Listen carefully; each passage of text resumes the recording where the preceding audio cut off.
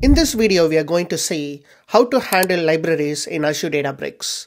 This is a very important interview question. We all know that Azure Databricks is really popular for two things. One is data transformation and the other one is performing machine learning or data science work. These two are the main reason why Databricks is really a popular tool. So when you're using Databricks to perform any kinds of data transformation work or the data science work, you'll be using a lot of inbuilt Python libraries for your development, right? But in some cases, there would be a need for using any external libraries for your work based on the different scenarios. So it is very important for us to understand how to install and manage these external libraries inside Databricks Workspace. So in this video, we'll be seeing about all the information that you needed to know about the libraries and also discuss about the different interview questions that you might be asked in your interview and discuss how we can answer these questions better. Cool, now let's get started. Okay, as you can see here, I'm inside the Databricks workspace. Here I have already created a cluster, which is the standard compute. Firstly, let's attach the compute with this notebook. After attaching, I'm going to write a simple print statement to see if the cluster works fine or not. Cool, it's working fine without any issues.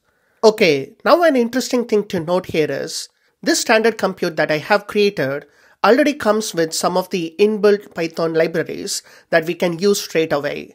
To see what are those inbuilt libraries, in the right side section of the notebook, you can click on the last option which is called as Python libraries. After clicking this, here we can see all the inbuilt Python libraries that are supported for this standard compute. We can use any of these libraries in our code straight away. For example, let me search for numpy over here in the text box. As you can see here, this is an inbuilt one which we can use it in our code. For example, let me type import numpy as np and execute this code. As you can see, we have successfully imported this library without any issues. Now we can use this library to perform the operation that we needed to do. For example, I'm pasting a code here. So in this code, we are creating an array using the NumPy library. Let's run the cell now.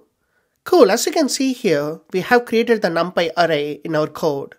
Similarly, you can use all the libraries that comes inbuilt with this cluster.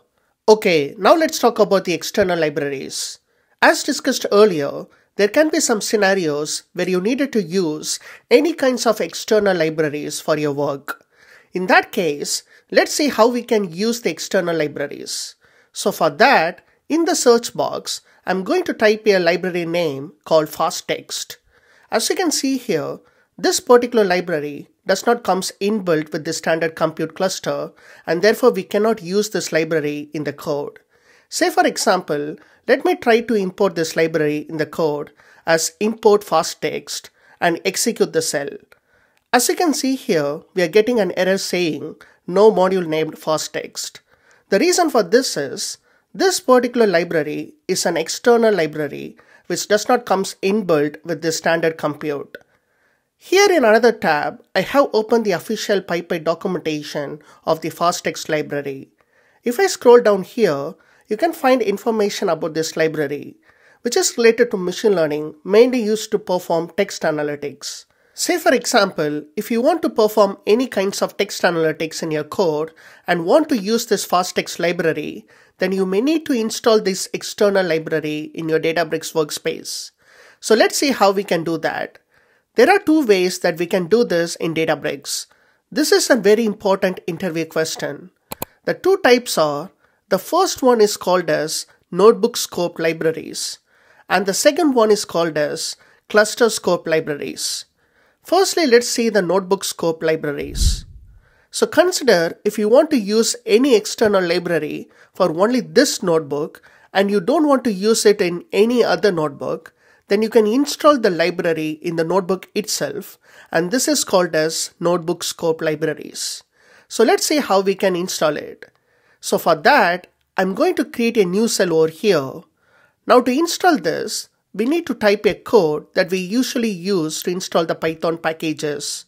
The code would be percentage pip install and then we need to give the library name which is fasttext in this case. Now the most important thing to note here is the notebook scope library is also applicable only for the current session. So what this means is even after installing this library in this notebook, when we restart the cluster, we cannot use the library unless and until we install the same library using the same code again. So in this case, for using the notebook scope libraries, this code should always be here in the notebook. Another important thing to note here is, if you straight away run this code, what will happen is, by default, the latest version of this fasttext library will get installed.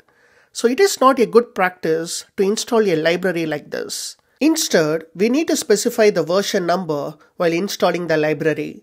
The reason for this is, if we don't specify the version number, and in the future, if the latest version is released for the same library, then the latest version will be installed and there can be a situation where your old code might fail. So if you specify the version number with it, then every time when you run this notebook, the same version will get installed and the code should work absolutely fine. So these two things are important to understand since you might get these questions in your interview. So to install with the version number, let's first go to the documentation and here you can find the version of this package which is 0.9.2 and as you can see here this is the latest version. So let's copy the version number and jump back to the notebook and here in the code I will type double equals and paste the version number over here. Okay so this is the complete code. Let's run this cell to install the fasttext library. Cool, as you can see here, the package has been installed successfully. Now, if I run this code, we'll be able to import the library successfully without any issues. So this is the first way, which is called as Notebook Scope Library. So as said earlier, this is installed only for this session. So what I mean by this is, if I go to the cluster and click on this detach and reattach option, what will happen is the session for this cluster will restart. Let's click on this confirm button over here. After that, if you run this code, you'll get the same error again. The reason for this is, as said earlier, the notebook scope library is only applicable for the current session. Therefore, this code should always stay in the notebook and it should be run every time to use this library in our code. So this is called as notebook scope library. Okay, now let's see about the next one, which is cluster scope libraries. So for that, I'm going to another tab here you can see the standard compute that I have created earlier. So to set up the cluster scope libraries, firstly we need to click on the cluster. Here you can see all the configurations of the clusters. In this, there will be a tab called libraries. So let's click on it. So this is the place where we'll be installing any external libraries. So for that, in the right side, there will be a button called install new. So let's click on it. After clicking it, here you will have your different options to select the source of the libraries. For example, firstly we have your workspace option. So consider if you have any package file in the workspace location, you can select it using this option to install it. Similarly, we have different sources such as file path of the ADLS, which is the Azure Data Lake storage.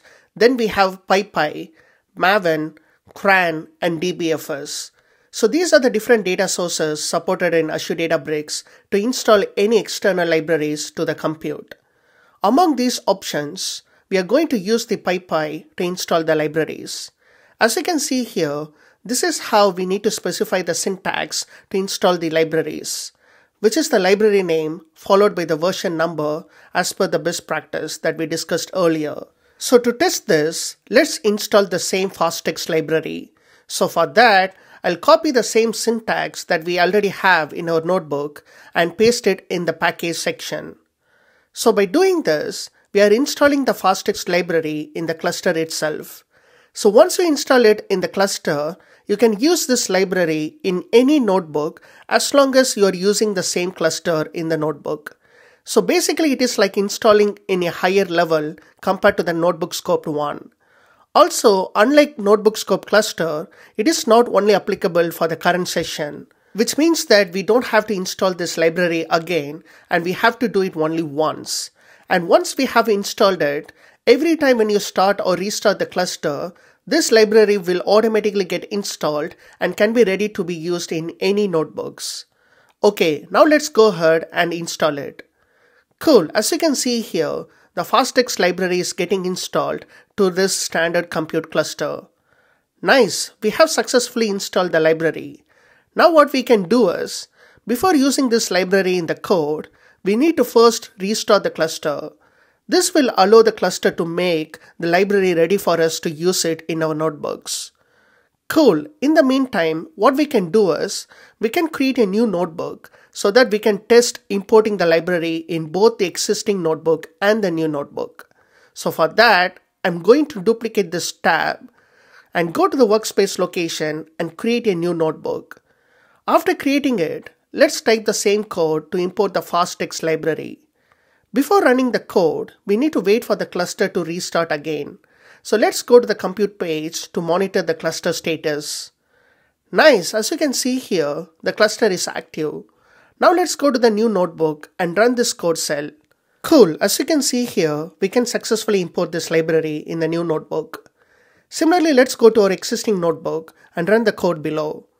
Cool, so this runs fine as well. Also, if you note something here, now in the Python library section, you can find the FastText library in here so basically we have installed this library in the standard compute cluster, which means that this FastText library is now added along with the other built-in libraries of this cluster. So this way of installing libraries is called as cluster scope libraries. Okay, we have seen the differences between the notebook scope libraries and the cluster scope libraries. Now the most important thing is we need to understand when to go for what.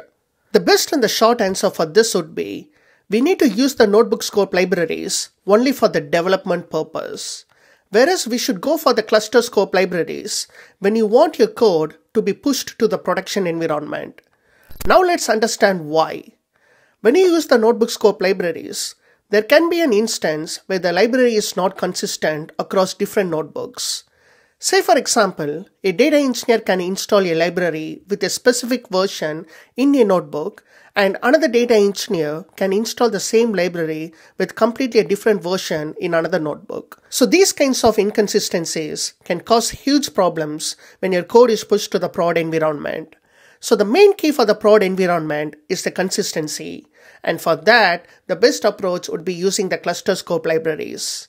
So therefore, if you're developing something in the dev environment, then you can use notebook scope libraries to do all your work since it is quite fast compared to installing the libraries to the cluster itself.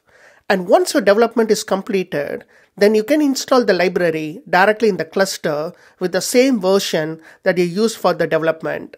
So in this case, when your code is pushed to the prod environment, the same library can be installed in the prod cluster often by an automated templates such as Terraform or Biceps as an infrastructure as a code deployment. This will ensure the prod environment is consistent with the different external libraries and its versions. Also, more than anything, the most important point to note here is it is always a good practice to avoid using the external libraries at all. The good practice is to use only the inbuilt libraries that comes with the cluster to do any operation.